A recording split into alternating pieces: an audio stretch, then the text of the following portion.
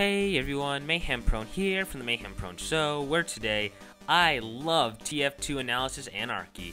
It's one of the best MLP fan series on all of YouTube. In this theory, and When Alexander saw the breadth of his domain, he wept for there were no more worlds to conquer. I disagree.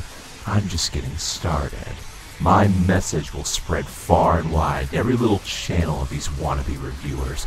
Go ahead, check the others. I'm everywhere. And here's my message. I am Cartoonz. I am the best in the world at what I do, and whether you like me or whether you hate me, I will exist forever.